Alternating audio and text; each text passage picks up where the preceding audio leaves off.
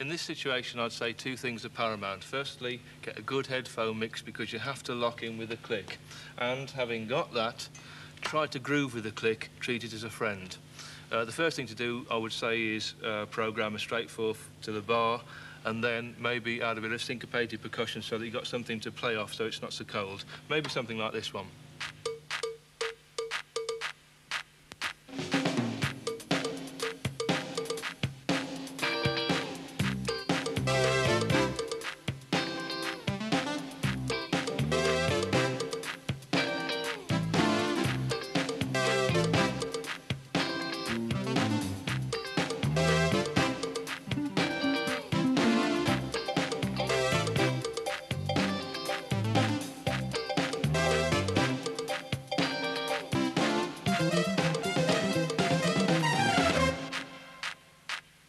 Playing along with the click is now the rule rather than the exception, and the best players are taking the concept of grooving with the click to amazing heights. This is Weather Report and Sting drummer Omar Hakim.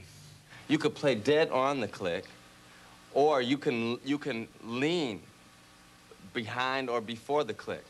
And a, lo and a lot of times, um, I do that to, to incorporate a natural feel into things so that it doesn't sound like a click. But in other words, I always work within the time frame that's set by the click, but I can make the click feel very natural, you know? Um, so like when I'm doing fills, I might maybe lay behind the click a little to, to, to add tension you know, like...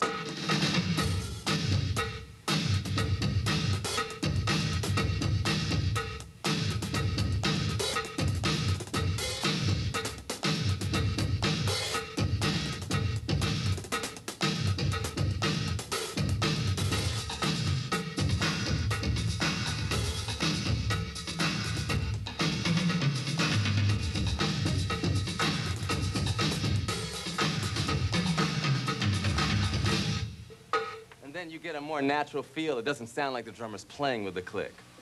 You can kind of play around with it some. So drummers are now establishing a two-way thing with the machines, and they're very often inspired by the fresh angles that the machines have brought to rhythms. Just look at the way that Omar adds fresh life to a basic funk groove. A lot of times now, on the records that I've been doing, they've been asking me for very solid patterns between the, uh, the kick and the snare. Like, for instance, something like, uh,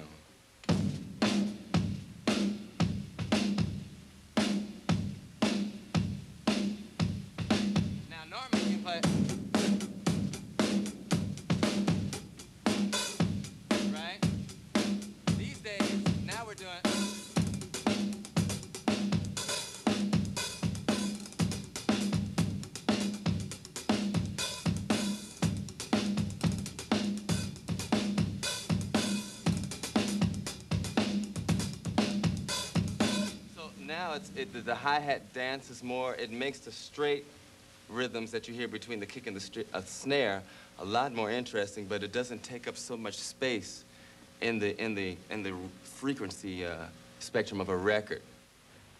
As with drummers and drum machines, bass players are having to rethink the parts they play due to the arrival of sequencers and MIDI.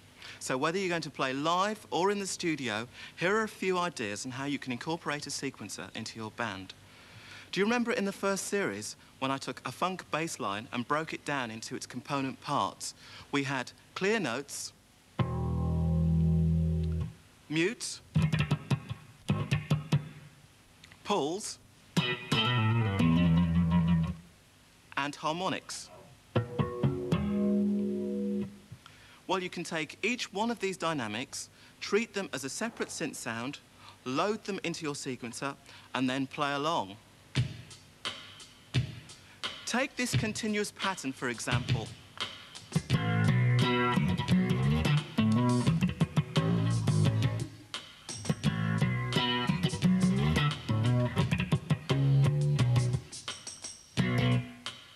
One synth might play the root notes like this.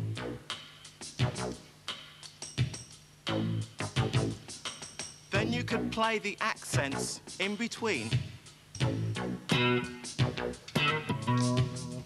With an aggressive synth sound.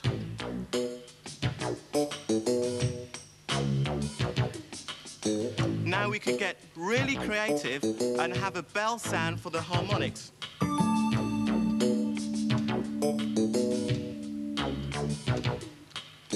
In between all those phrases, some percussion. And a percussive synth sound for those phrases. Now the whole thing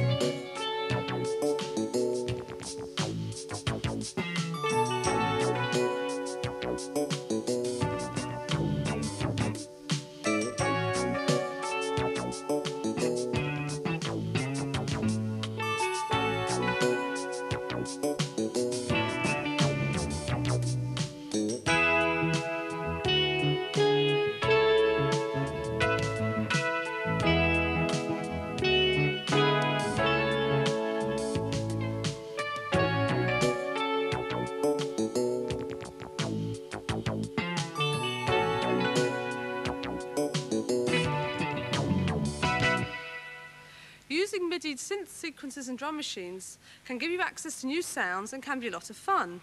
But of course, all this technology can also be very complicated.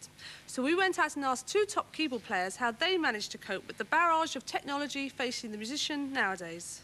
a player like me doesn't really have to spend that much time trying to come up with sounds because there are banks and banks and banks of sounds coming down the MIDI pipeline. And all you have to do is audition all of them. It'll take a while. And uh, then you pick some and you can always edit and make them fit what you want to do. But I've spent, uh, since uh, the uh, advent of MIDI, I've spent less and less time really trying to come up with brand new sounds. Because there are only few sounds that you really like and that you have to make for yourself. And uh, I still do those, homemade. But on the other hand, there are so many sounds that are available, uh, especially for, let's say, for like, like the uh, instrument like the Yamaha or the expander, Oberheim, that uh, there's no reason for anyone to even spend any time and try and tweak the sound from scratch yourself. You know, you just go through the things that are available and you find something that's close, and then you have to know what to tweak to make it perfect for you. with early synthesizer work, you always program your own sounds. Um, now, because there's so many instruments and so many different technologies, that many musicians are employing the use of other people to do the programming so that they can spend their time and spend their mind conceiving. It's hard to do both because it takes a long time to program. By the time you program this thing, you forget what you were going to program it for, or forget the idea that you're going to have afterwards. So, so usually when I'm working on a record, although I do know basically how to program a DX7, when I'm working on, on a record, I usually have somebody here programming it for me. So that's their secret. They either use presets and just alter them a little bit to get the sounds they want, or they're lucky enough to have somebody else to do the programming for them. But for the rest of us, it's back to the manuals.